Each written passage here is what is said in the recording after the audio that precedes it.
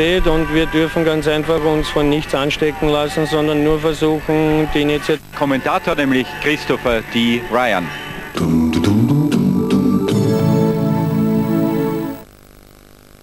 Warum der Primera? Der Durchzug ist enorm. Drei Jahre Garantie. Der Preis? Warum soll ich mehr zahlen?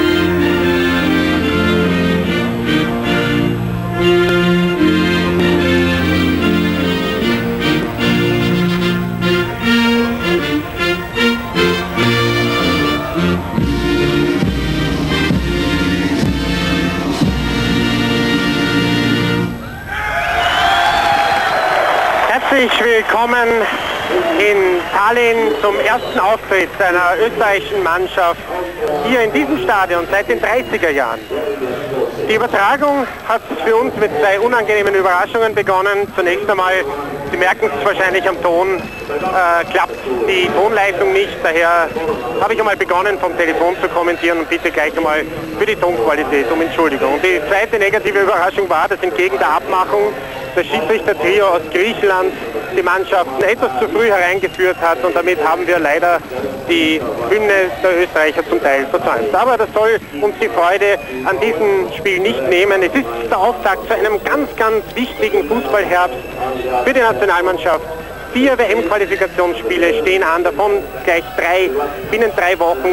Dieses hier dann das große Spiel am 6. September in Wien gegen Schweden und dann vier Tage später in Minsk gegen Weißrussland. Und Österreich hat die Chance, aus eigener Kraft die Qualifikation für die Endrunde in Frankreich zu schaffen. Allerdings werden dafür wahrscheinlich vier Siege notwendig sein. Das Ambiente hier nicht so, wie man sich normalerweise von einem WM-Qualifikationsspiel erwartet. Etwa 1000 bis ah, höchstens 2000 Zuschauer hier. Hat aber einen Grund. Erstens einmal ist Fußball in Estland nicht die Nummer 1 im Gegensatz zu Basketball. Und zweitens einmal, übermorgen findet hier ein großes Michael Jackson-Konzert statt. Und die Eintrittskarten, die kosten in etwa 600 Schilling. Das ist in etwa ein Viertel dessen, was der Normalsterbliche in Estland verdient. Und hier kosten die Harten auch etwa 250 Schilling. Und zwei solche Ausgaben binnen einer Woche, das können sich nur die wenigsten leisten. In wenigen Sekunden geht's los. Kurz einmal die Aufstellungen, die Esten mit einem 4-5-1. Ich sage Ihnen schnell mal runter den Nummern nach. 1 der Torhüter Pohm, der einzige Legionär, spielt bei Derby County. 2 Lemsolu, 3 Kiers, 4 Hochloch Simpson, 5 Med, 6 Wiegme, 7 Arbeiter, 8 Oper, 9 Kristall, 10 Reim, 11 Zelinski, Oper die einzige Spitze, Lemsalo und Hochloch Simpson zwei starke Innenverteidiger. Schlossen und zwar wie folgt. Konsel natürlich im Tor, das ist noch nicht das Risiko. Libero Kogler statt des verletzten Feiersinger. Offensivster Mittelfeldmann, wie immer Andi Herzog, hinter den beiden Spitzen Basic und Volksmann, Volksmann gleich mit der ersten Chance. Nach wenigen Sekunden wäre das die Möglichkeit zum idealen Auftakt für die Österreicher, Österreicher nach einem Abwehrfehler, den Czerny genützt hat, Ball zu Polster gebracht hat. Aber Abwehr von Klasse Norman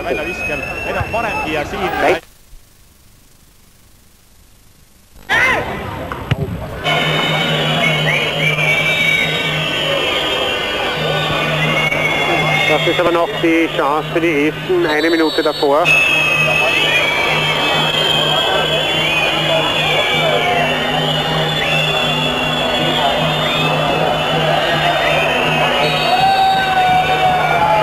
Mit dem Freistoß.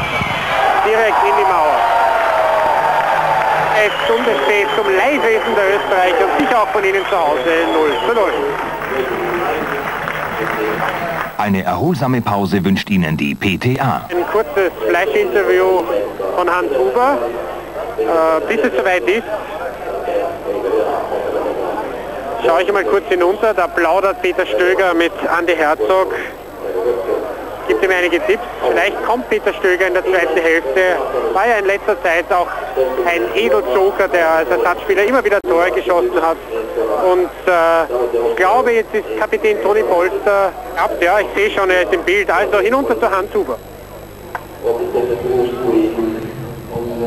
Toni Polster, zwei große Chancen zu Beginn, aber kein Tor und danach wurde es immer schwieriger. Warum? Ja, wir müssen Geduld haben. Ich meine, die, die spielen wirklich mit einer Zehnerkette hinten und das ist sehr schwer durchzukommen. Der Platz ist sehr holprig. Dadurch äh, passieren natürlich Ballfehler, das ist ganz klar, aber, aber wir müssen weiter konzentriert spielen und Geduld haben. Das ist das Einzige, was wir jetzt brauchen. Das heißt, Sie glauben, nach der Pause könnte dieses erlösende Tor fallen? Ja, man hat schon gesehen, ich meine, wir kriegen jetzt am Ende der ersten Halbzeit schon viel mehr Platz, weil sie einfach äh, nichts fürs Spiel tun, sondern immer nur nachlaufen. Das macht natürlich müde und da müssen wir ansetzen. Danke vielmals. Und jetzt habe ich noch den die heute mehr als sonst. Ich zittere heute besonders, gebe ich zu. Ja. Warum? Weil wir gewusst haben, dass es hier ein sehr schweres Spiel sein wird, weil es notwendig ist, dass wir äh, gewinnen, zumindest ungeschlagen davon kommen, aber gewinnen. Und äh, man sieht ja, dass die Essen äh, nicht so unrecht gegen die Schotten 0 zu 0 gespielt haben oder gegen die Schweden nur 3 zu 2 verloren haben. Wenn Sie jetzt einen Tipp abgeben, wie würde der lauten? Ich gebe jetzt keinen Tipp ab. Ich hoffe nur auf die zweite Halbzeit. Das erste Tor für Österreich. 1 zu 0 durch Toni Polster aus einem Freistoß in der 47. Minute. Und der Kapitän erzielt sein 37. Tor in einem Länderspiel. Das dritte in dieser laufenden WM-Qualifikation. Und er bricht damit den Bann. Das ist der fünfte Schuss der Österreicher aufs estnische Tor und der hat gepasst. Endlich einmal hat auch eine Standardsituation so funktioniert, wie es sein soll. Gefühlvoller Heber über die Mauer von Toni Bock. Kristall läuft drüber, zwei Spieler drüber gelaufen und Reim schießt der Herzog K.O. Der ist erzielt. Aber Mark Pohm heißt nicht Schickelgruber und daher bleibt es beim 1 zu 0 für Österreich. Nicht sehen. Inzwischen rollt schon der nächste österreichische Angriff. Bastic! Eine Glanzleistung von Mark Bohm bei diesem Halbwolle von Ivica Vastic. Ja, langsam schlägt sich die österreichische Dominanz in diesem Spiel auch in der Statistik nieder. Nicht nur in den Toren, sondern auch in den Schüssen. 7 zu 3. 3 zu 1. 3 zu 0, pardon, einer ist ja nicht gegeben worden. 70 Minuten! Ja, die Torstange, die Cornerfahne, die kann nichts dafür. Führt Österreich mit 2 zu 0. Abwehrfehler, der erste wirklich schwere Fehler seit der ersten Minute bei den Esten. Genützt vom Kapitän. 38. Teamtor im 84. Länderspiel zur Freude der Schlachtenbummler. Und ich würde meinen, jetzt sollte nichts mehr anbrennen hier in Tallinn. 2 zu 0 für Österreich. Dasselbe Ergebnis wie in Wien ist einmal eingestellt. An der Unruhe von Heitor Tordason haben wir schon in den letzten Minuten gemerkt und auch auf dem Feld durch den größeren Druck der Österreicher. Und der Druck ist belohnt worden mit dem 2 zu 0.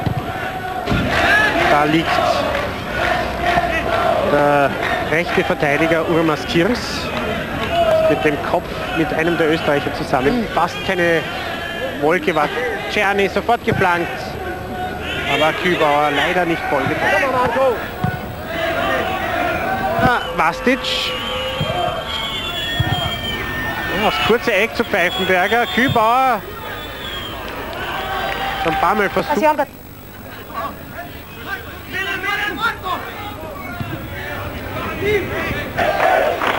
Wer darf jetzt dran? Kübauer, Vastic heißen wohl die Kandidaten.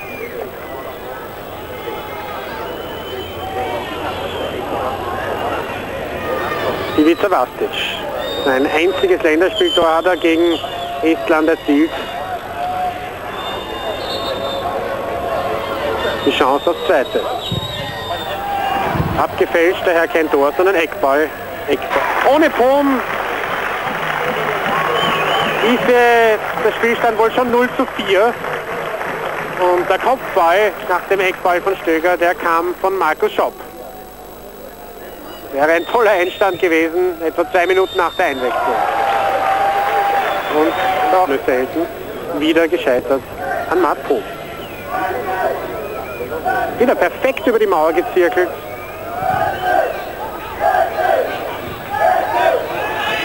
Matic.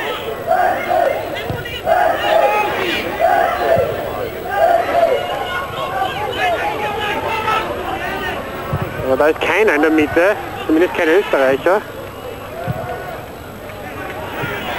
Es ist kein Doppelpack, es ist ein Trippelpack, es ist ein klassischer Hattrick für den österreichischen Teamrekordtorschützen Toni Polster. 3 zu 0 in der 90. Minute. Ein großer Tag für den Kapitän und es könnte der klarste Sieg einer Mannschaft gegen Estland in der WM-Qualifikation werden. 3 zu 0.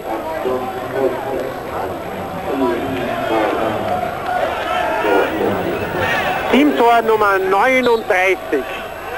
Ja, er ist vielleicht der erfolgreichste Stürmer, der im Moment aktiv ist. Weltweit, nicht nur in Österreich.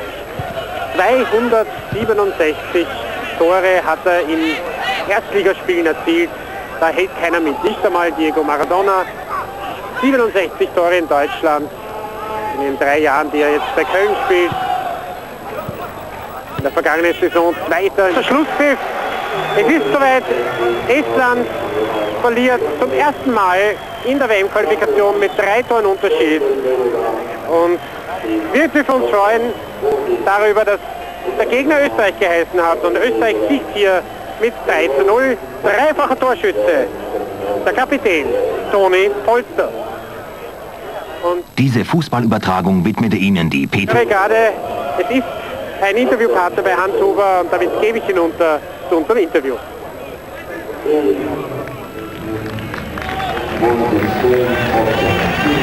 Ah. Ah, ich höre jetzt, ganz so weit ist es noch nicht, wir bekommen da noch den Toni Trippelback gezeigt. Natürlich für ihn gegen Estland ein Höhepunkt. Drei Tore in einem Spiel, in einem Länderspiel. Die gibt es nicht jeden Tag, auch nicht von einem Toni Polster.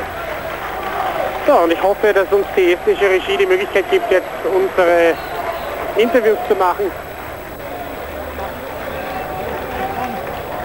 Die Schlachtenbummler haben hier kommen auch nicht können. Das sehen wir schon. Hans Huber mit Herbert Bohaska. Herzliche Gratulation. Zunächst, wie sehr ist die Erleichterung bei Ihnen? Wie groß ist sie?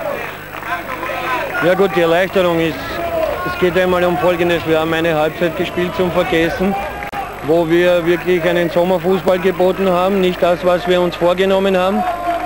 Aber ich wusste, dass die Mannschaft zuletzt auch immer gezeigt hat, dass sie dazulegen kann. Und wir haben dann in der Halbzeit eben äh, auch darüber gesprochen, was jetzt äh, notwendig sein muss. Wir müssen dazugeben und dann werden die Esten auch nicht dieses äh, gute Spiel, das sie erste Halbzeit geboten haben, defensiv. Sie haben sehr gut Pressing gespielt.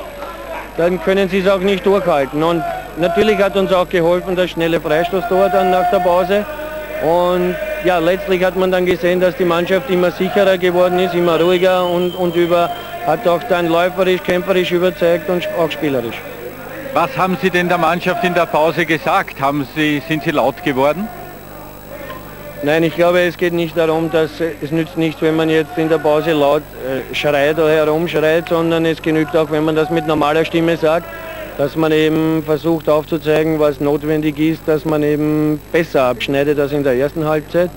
Und das haben sie dann getan. Und es, es ist natürlich klar, dass wir hier nicht äh, rechnen konnten damit, dass wir hier ein brillantes Spiel aufziehen können, denn äh, erstens einmal sind die Esten, wie sie gezeigt haben, nicht so schlecht und zweitens einmal äh, ist in so einem Spiel, glaube ich, immer nur das Resultat letztlich entscheidend und das war dann, wenn man die zweite Halbzeit hernimmt, sehr positiv.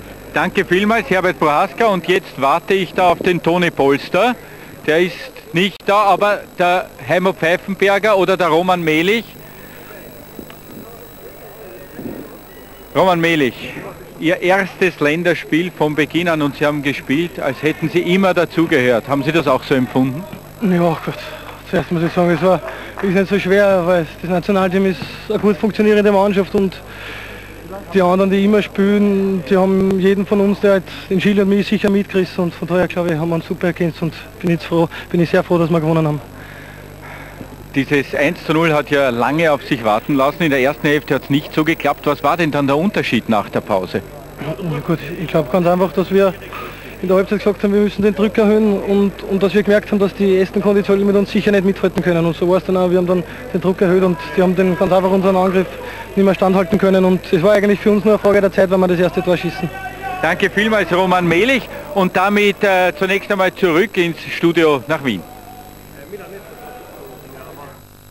Ja, und hier im Studio ziehen wir den Hut vor der österreichischen... Und herzlich willkommen.